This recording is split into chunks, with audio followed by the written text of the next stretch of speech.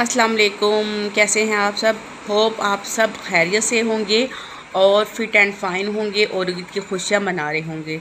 तो आज की ईद का है दिन पहला और यहाँ मैं बना रही हूँ खाना। क्योंकि जो भी हो, ख़वातीन को किचन के सारे काम और मेहमानों के काम तो करने पड़ते हैं। तो इधर मैं बिरयानी बना रही हूँ और जो मेरी सिस्टर हैं वो इधर मटन बना रही हैं। तो साथ साथ हम यहाँ पे तैयार हुए थे, ईद की नमाज़ वगैरह पढ़ ली थी। मैंने ये वाला ड्रेस पहना था, अपना मारिया भी वाला। तो साथ में मैंने खुसा वेयर किया था और मेरी बेटियों ने ये ड्रेसेस पहने थे।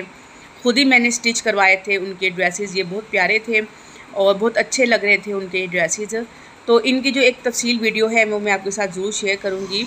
यहाँ बाकी बच्चे भी अपनी अपनी जो हैं, वो पिक्स वगैरह बना रहे हैं। बच्चे झूले ले रहे हैं, कोई तस्वीरें बना रहे हैं।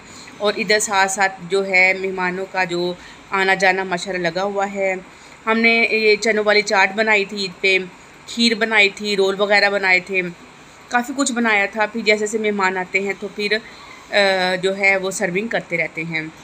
यह है कि हमारा जैसे माशाल्लाह बड़ी फैमिली है तो फिर जो ईद के पहले दिन जो सारे गेस्ट होते हैं, वो हमारे घर ही होते हैं। तो उसके बाद फिर हम शाम को जाते हैं सबके घर। तो इस तरह तीन चार दिन जो होते हैं, वो माशाल्लाह इसी में गुजर जाते हैं। रोज़ तैयार होना पड़ता है और आना जाना पड़ता है। तो अब यहाँ पे हम जो हैं खाना वगैरह से फ़ारग हो के अब इन जो दूसरे जो घर हैं, वहाँ पे जाएँगे। और यहाँ पर हम अपनी जो है, नंद के घर आगे हैं। और ये उनके घर की कुछ जो मैंने क्लिप्स थे, वो रिकॉर्ड किए थे।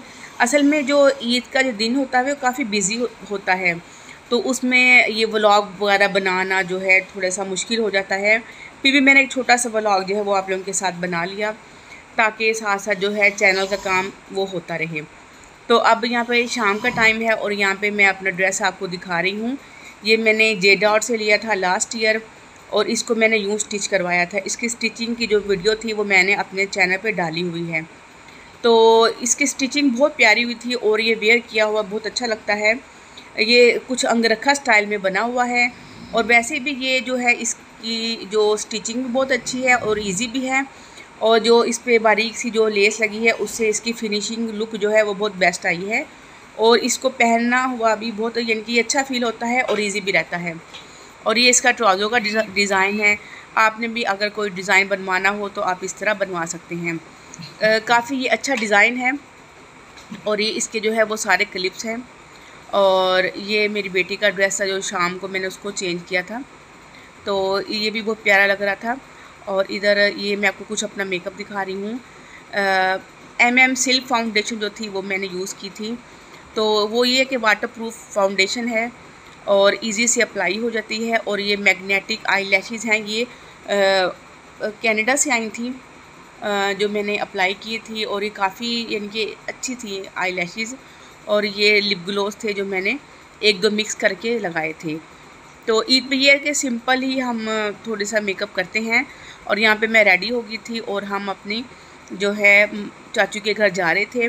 तो जूली वगैरह मैंने सिल्वर ही साथ में पहन ली थी ग्रे के साथ अच्छी लग रही थी। तो अब हम जी उनके घर आ गए हैं। यहाँ पे शाम का टाइम है, बच्चों को दोबारा से जो ड्रेसेस है वो चेंज करवाए हैं।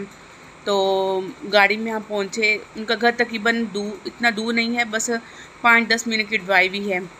तो ये उनके खाने की कुछ क्लिप्स हैं। काफ़ी यमी खाना बना हुआ था पास्ता था, दही भल्ले थे और सैलड वगैरह थे मटन था चिकन था, काफ़ी डिशेस थी और बहुत अच्छा दिन गुजर गया, लेकिन ईद वाले दिन ही है कि काफ़ी थकावट हो जाती है और बहुत ज़्यादा थकन हो गई थी।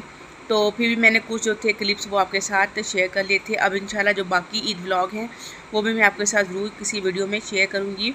तो उम्मीद है आज की वीडियो आपको अच्छी लगी होगी। मिलेंगे आपसे नेक्स्ट वीडियो में। टिल दैम अल्लाह हाफिज़।